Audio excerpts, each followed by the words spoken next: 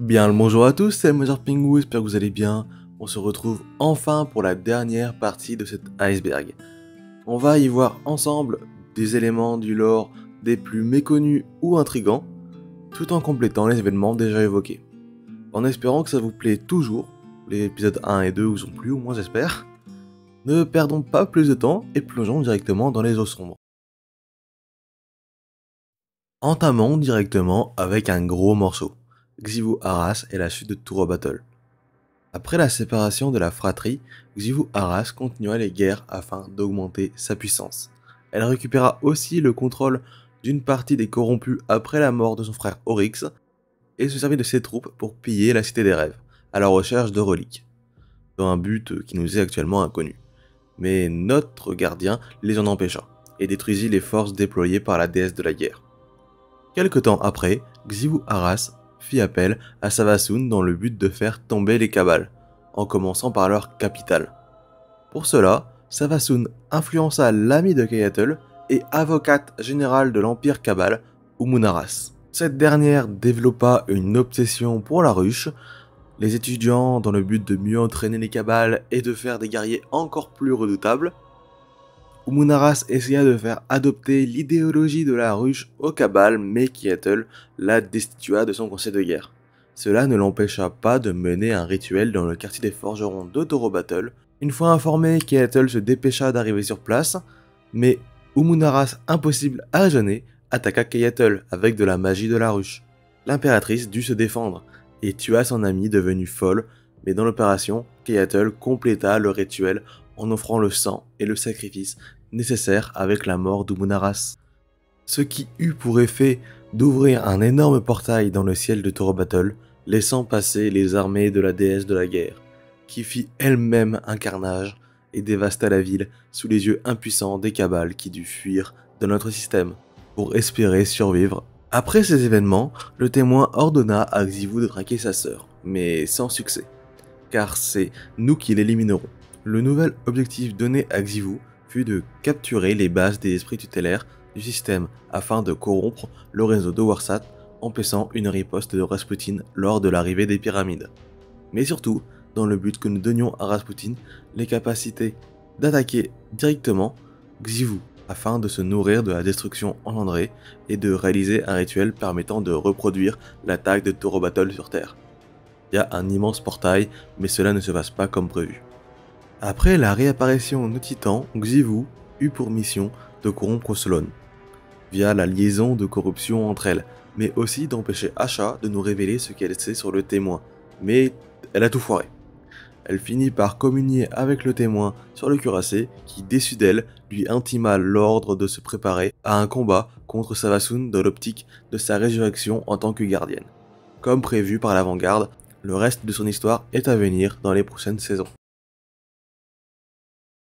Maintenant que nous en avons fini avec la ruche, nous pouvons nous penser sur les Vex, avec le Jardin Noir ou du Salut, comme vous voulez, et de leurs habitants, les sols reclus.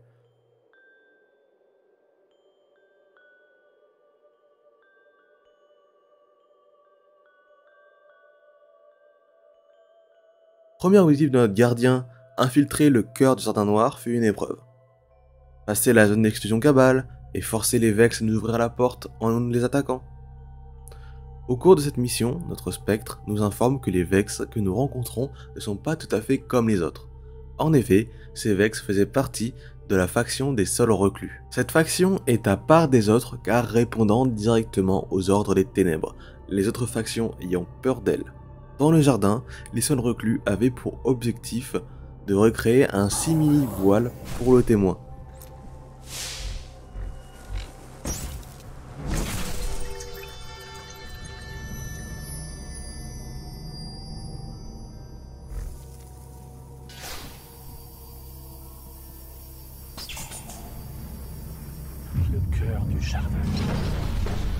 Très bien.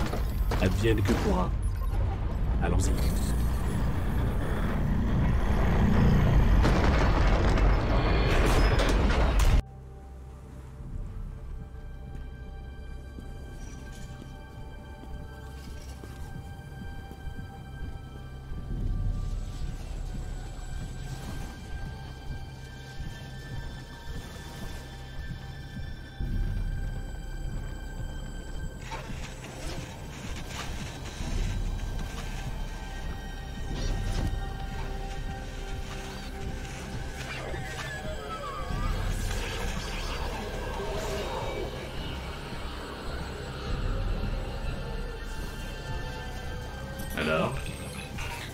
Un dieu Je n'ai pas tellement le choix.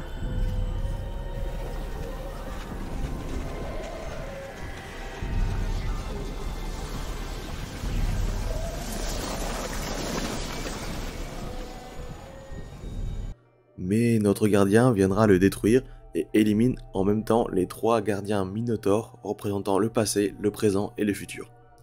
Plus tard, la porte menant au jardin fut détruite par la Légion Rouge lors de leur reconquête de Mars. Le jardin restant à l'abandon, il fut réhabilité par les en communion avec les ténèbres. Lors de notre exploration de la pyramide lunaire, nous obtenons un artefact qui nous offre une vision du témoin sous notre forme, nous proposant le salut. Avec l'aide d'Eris, nous décodons un signal émis par l'artefact, nous guidant vers un portail caché sous la surface de la Lune.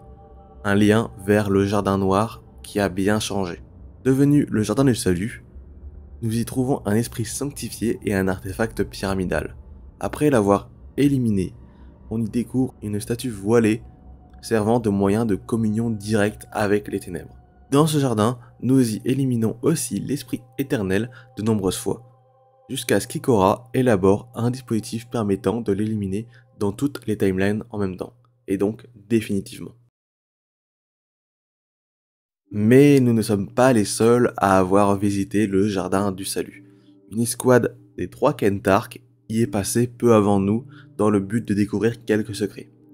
Ils pillent notamment un artefact important pour les Vex, ce qui a conduit à une forte riposte de ces derniers. Après un long combat, les trois gardiens perdent leur lumière suite à des chuchotements entendus à travers le jardin, mais que leur spectre ne pouvait pas entendre. Ils se retrouvèrent forcés de conclure un pacte avec une entité pour survivre, sûrement les ténèbres. Ils se retrouvèrent donc avec des capacités inconnues qui poussa Lisbonne 13, le chasseur de l'escouade, à éliminer ces deux comparses. Mais nous ne savons pas ce qui arriva par la suite. Restons dans le coin Vex avec du lore sur leur monde natal, Volantis. Nous ne savons pas énormément de choses sur cette planète, mais nous pouvons actuellement nous y rendre. Enfin, c'est théoriquement possible. Vous vous souvenez du sommet miroitant sur Europe? Le portail à la fin mène en fait à l'étoile Volantis 2082, ou l'étoile façonnée de son petit nom. Clovis Bray a créé ce portail en se faisant manipuler par les ténèbres, croyant chercher la fontaine de clarté. Une fois le portail créé, il envoya des robots d'exploration. Lors de leur exploration, ils se rendent compte de deux particularités dans ce système. La première est que les planètes n'en sont pas vraiment, mais plus des satellites artificiels construits à base des planètes qui existaient alors. La seconde est que l'hybergeante bleue qui servait d'étoile à ce système était pris dans une structure qui semblait à la fois réapprovisionner l'étoile en combustible, en hydrogène du coup, mais aussi y extraire des métaux, un peu comme une sphère de Dyson améliorée. Malgré tout ça, il semblerait que les satellites étaient contre toute attente favorables à la vie, même s'il y avait des radiations, des conditions vraiment très très dures dans ce système, dû à l'astre en question. Il semblerait que ce monde soit le premier monde Vex, l'étoile datant de 13 milliards d'années, alors qu'en théorie, selon Clovis Bray, l'étoile aurait dû mourir en 2 milliards d'années. Il est donc fort possible qu'un jour nous traversons le portail et attaquons directement les Vex dans leur monde natal. Enfin, du moins, on espère, ce serait une très bonne campagne. Reparlons maintenant du gardien Prédis et du collectif d'Ishtar, car les deux sont liés. Le collectif d'Ishtar, durant l'âge d'or, voulut étudier les Vex et leur réseau. Pour cela, sous l'impulsion de Maya Shundaresh, ils numérisèrent dans le réseau Vex les multiples versions d'eux qu'un Vex avait créées pour les faire douter et les combattre. Mais étant en contact avec Rasputin, un esprit trop compliqué à simuler pour les Vex, ils savaient qu'ils étaient les vrais. Les copies partirent donc à l'exploration du réseau, et de nombreuses escouades rencontrent un gardien prisonnier des Vex hors du temps. Vous l'avez deviné, c'est Praedis.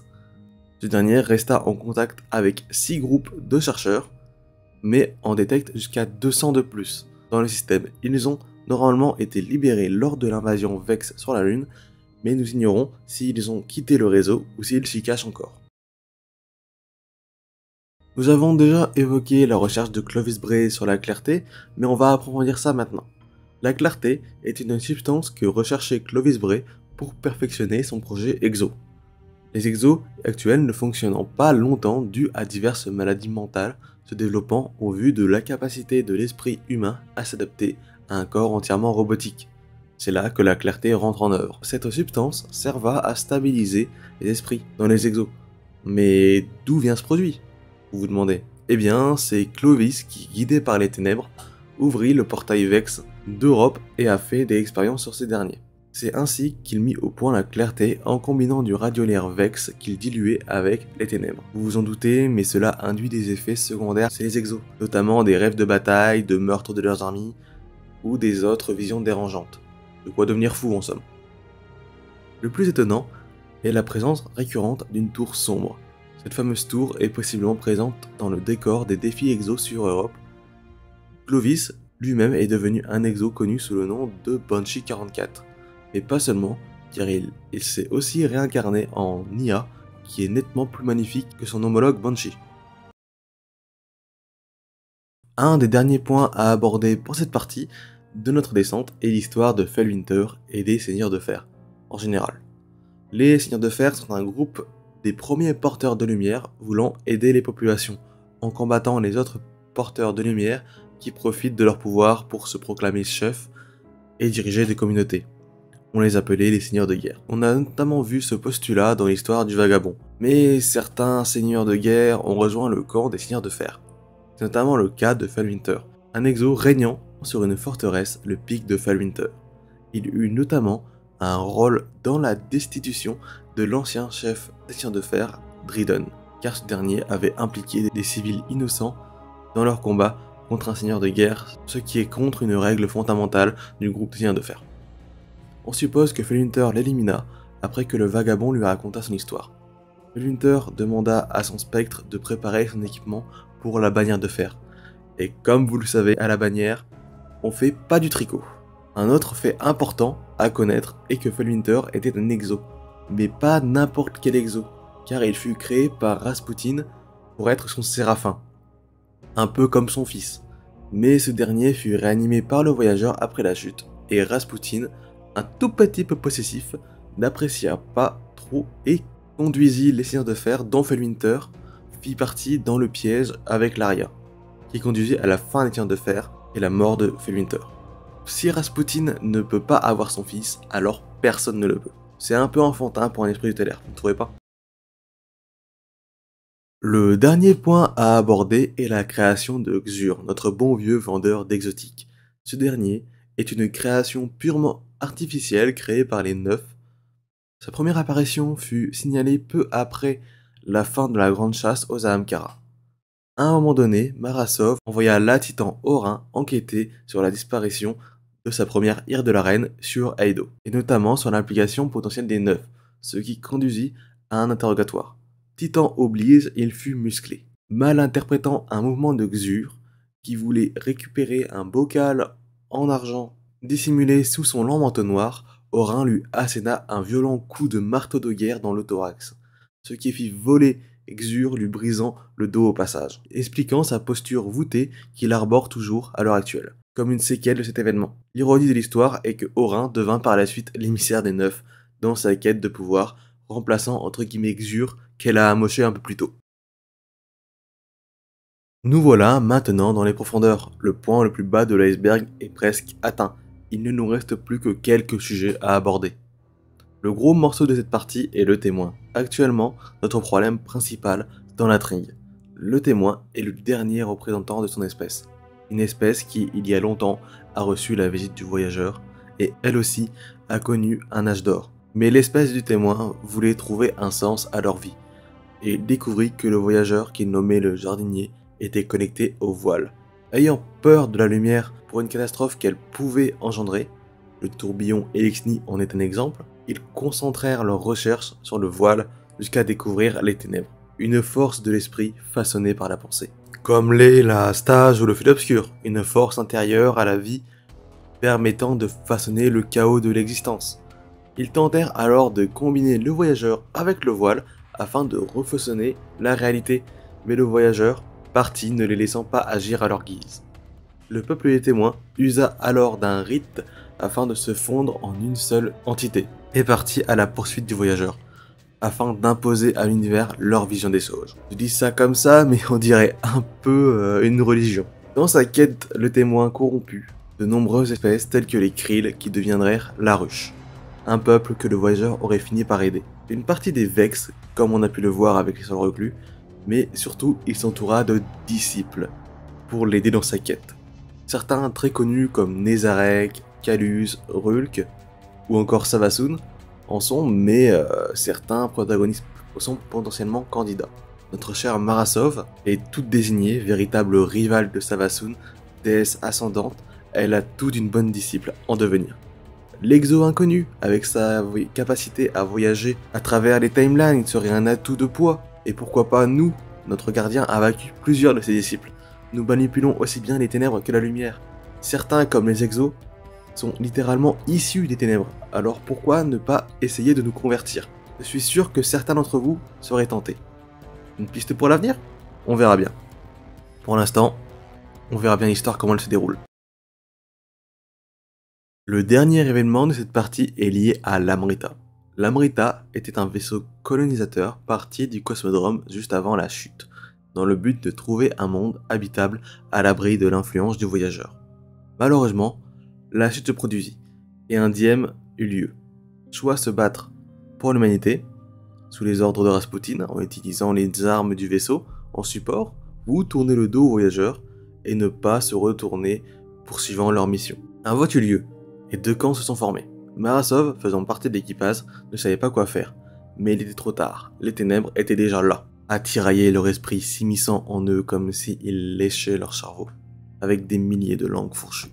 Le vaisseau subit des vagues de gravité, ce qui les déstabilisa encore plus. Alice Lee, la capitaine du vaisseau, décida de suivre ses convictions et interagit directement avec les ténèbres, demandant un laissez-passer, se considérant comme neutre dans cette affaire. Après tout, elle n'avait pas tort, le but de la mission était de s'émanciper du voyageur. Le voyageur réagit en essayant de percer les ténèbres autour du vaisseau, mais n'y parvient pas. Le vaisseau, dérivant entre lumière et ténèbres, tant d'énergie paracausale au même endroit fit se déchirer l'espace et un trou noir se créa, aspirant le vaisseau. Ce trou noir menait vers un univers différent du nôtre, le défluent. La capitaine, Alice Lee, fut la première à prendre conscience de où elle était. Et de sa conscience, elle modela lui cet univers tel son utopie rêvée, propice à la vie, avec des habitants immortels face au temps, mais une fois les 40 000 passagers réincarnés dans ce monde, une autre fission eut lieu dans la communauté.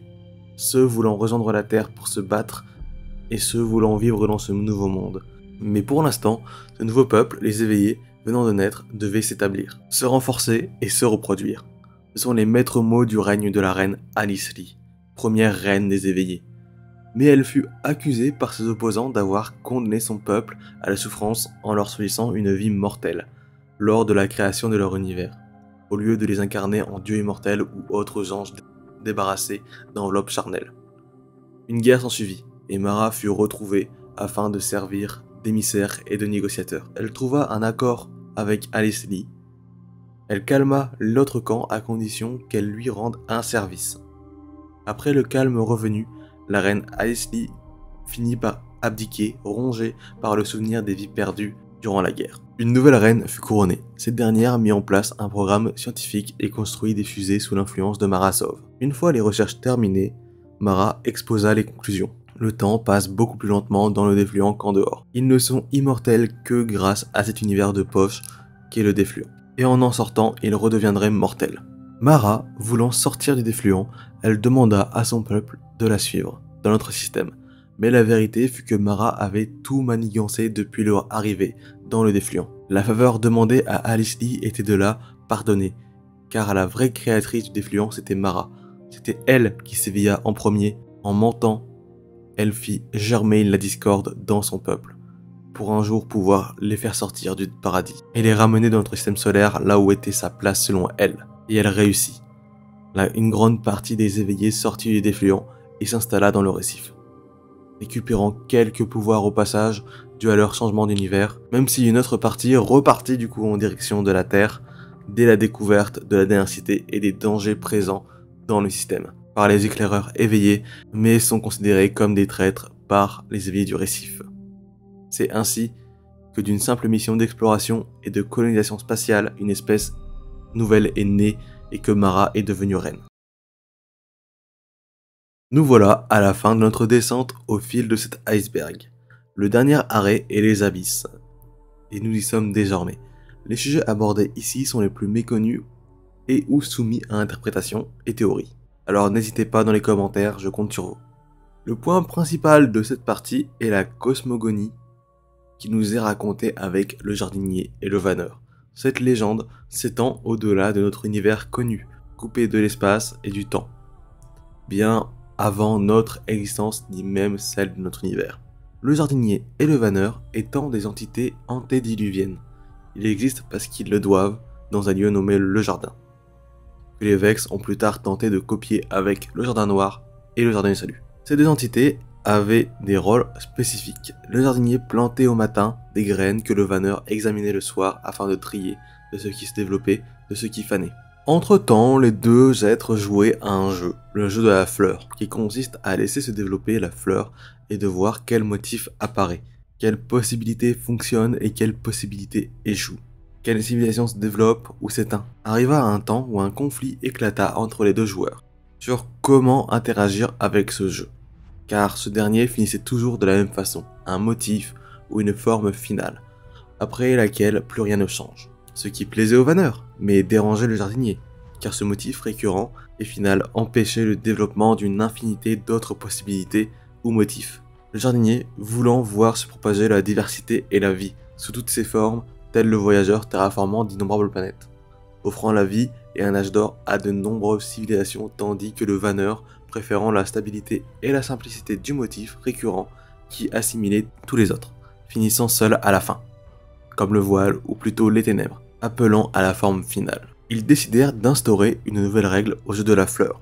Le jardinier et le vanneur s'intégrèrent au lieu de rester simples observateurs. À partir de ce moment-là, les règles pouvaient évoluer à l'instar des différents philosophies qui les opposaient se changeant en haine. Le jeu de la fleur devint alors le monde matériel de notre univers. Et une véritable guerre prit forme entre les deux entités impliquant de nombreuses espèces telles que nous gardiens et Elechni dans le camp du jardinier, le témoin ou la ruche avec leur logique de l'épée dans le camp du vanneur. Une question reste en suspens, le motif final hors de l'équation lumière-ténèbres, et s'apparentant plus au Vex, vivant dans un seul but, le motif, assimilant toute planète qu'il change en machine, ou même être vivant tel qu'Aber, le titan du caveau de verre, se faisant infecter par le radiolaire après l'avoir bu. Cet ancien gagnant du jeu de la fleur tente de s'adapter à ces nouvelles règles, les seuls reclus sont adaptés aux ténèbres, on l'a vu, mais les autres, ils transforment inexorablement les mondes en machines, simulent tous les futurs possibles, mais ne pouvant pas simuler la lumière qui est paracausale, donc les ténèbres non plus. Se pourrait-il qu'ils fassent le pari de la neutralité Une fois le jardinier ou le vanneur éliminé, voire les deux, ils seraient libres de compléter leur motif et d'atteindre la forme finale, la forme finale du jeu de la fleur, et d'être le grand gagnant de cet univers comme nous avons pu l'apercevoir dans le futur sombre simulé au sein de la forêt infinie. C'est une possibilité, le voyageur ne produisant plus de nouveaux spectres, les gardiens et la lumière sont donc une espèce finie, sans descendance possible. Il ne resterait que les ténèbres qui se battent indirectement pour que le motif Vex soit prédominant. Je vous laisse donc à vos spéculations. Restons dans les entités paracausales avec le voile et donc Neomuna. Comme nous l'avons déjà vu, le voile est lié au voyageur car étant un artefact des ténèbres. Il est considéré comme une toile de conscience par les scientifiques d'Ishtar, après sa découverte sur Neptune. Le voile a visiblement une conscience propre, car ayant parlé à Maya Sundaresh dans ses pensées, disant s'appeler le voile. Et il serait leur salut. Les scientifiques élaborent donc une machine permettant d'entrer en contact avec le voile en reliant plusieurs consciences, sur le modèle de l'Aria ou des Vex. Tous les exos participant à l'expérience verrent leur conscience effacée dès leur contact avec le voile, et les humains simplement tués. Après plusieurs essais et la création accidentelle d'un exo copie de Maya Sundaresh, avec sa voix et certains de ses souvenirs, ils réussirent à créer un lien entre le voile et des humains. Mais Maya a plus tard essayé seule de se connecter au voile pour une raison inconnue et en est morte. Le voile a différentes propriétés comme celle de faire fuir les Vex, protégeant ainsi les scientifiques d'Ishtar lors de leur installation ou d'imprégner la zone de fil obscur. Une manifestation des ténèbres, il est aussi la source d'énergie de Neomuna et la base de l'archinuage. Nous n'en savons pas beaucoup plus sur le voile, son apparition étant toute récente dans l'intrigue. Passons maintenant à un sujet qui me tient à cœur, l'expédition du vagabond sur la planète de glace. On commence à entendre parler en jeu, mais cet événement reste assez énigmatique. À l'aube de la création de la cité, le vagabond et son équipage partent en expédition en dehors du système solaire dans l'espoir de trouver quelque chose de plus grand que la lumière.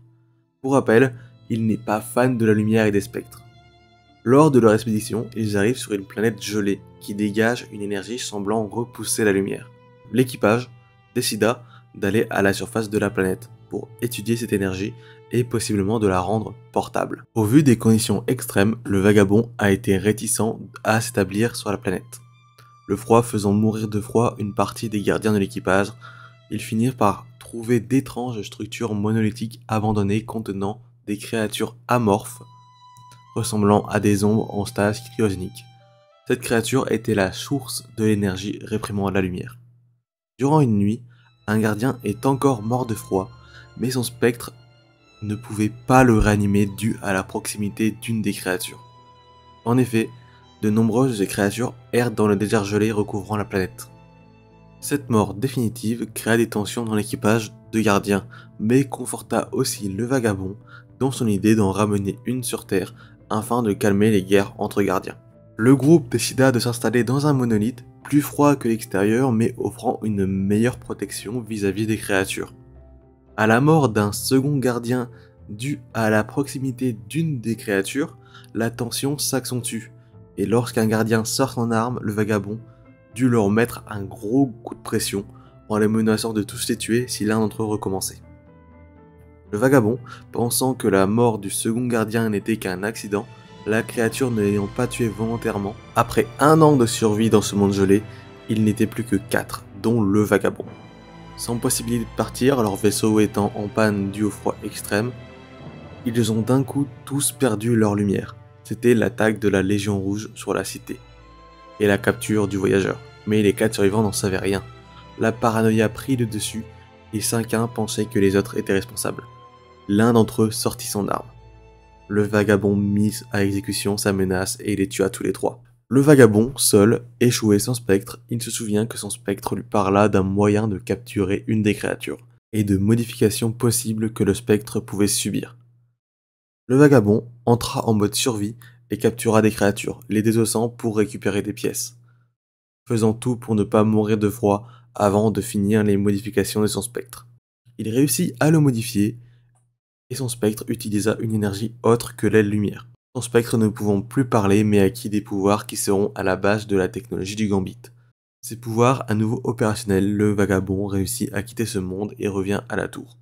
À l'époque où ce lore est sorti, la communauté appelait les créatures le voile. Depuis que le voile de Neomuna est apparu, cette espèce n'a donc pas de nom déterminé ni a été aperçue en jeu, peut-être plus tard dans l'intrigue. Le Télesto, cette arme qui a fait crier plus d'un joueur de compète, et est surtout doté de sa propre conscience, capable de hacker les serveurs de Bungie et de changer sa capacité exotique sans trop de raison. Elle